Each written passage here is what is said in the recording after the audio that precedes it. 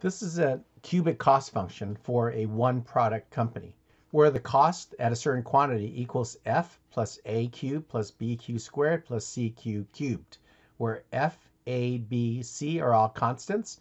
f itself is a unique number because it is a fixed cost. So it's fixed cost plus these, which are constants in front of the variables, q cubed squared and q to the third power. The marginal cost, and we know now, I hope, that marginal cost is the first derivative. So the marginal cost of this function is the first derivative of this cost function. So the f disappears. It goes aq to 1 minus 1, and then b 2bq to the 2 minus 1, and the 3cq to the 3 minus 2. And that simplifies to this. So the marginal cost of q equals a plus 2bq plus 3cq squared. All right. So that is how we would look at a cubic uh, cost function. So let's look at a multiple product scenario where we have C, uh, Q1 and Q2, quantity of one and quantity of two. Here we can quantify what economies of scope looks like.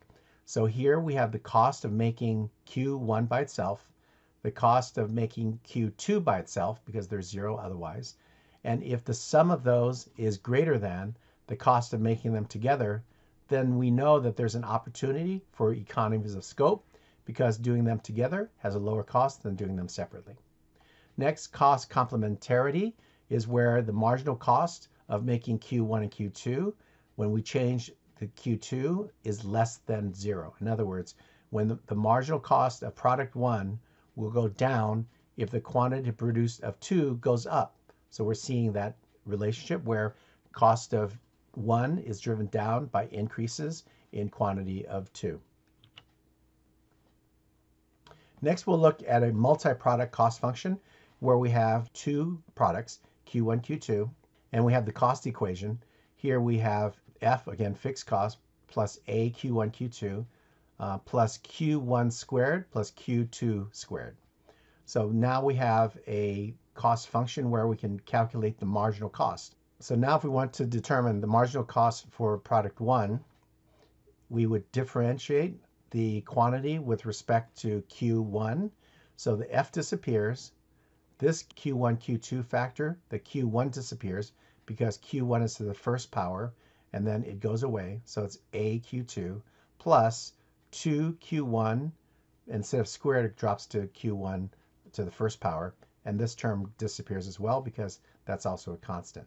So here, if we look at this two product cost function, and we want to know the marginal cost with respect to product one, is AQ2 plus 2Q1.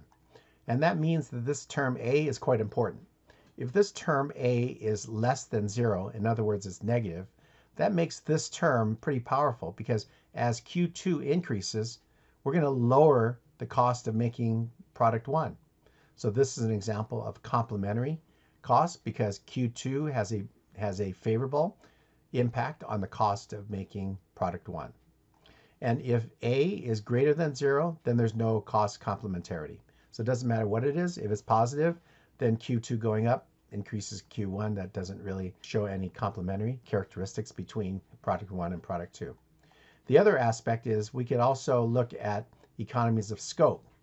And that condition is where F minus a q1 q2 is greater than zero. So if this term is true, then there is economies of scope between products one and product two.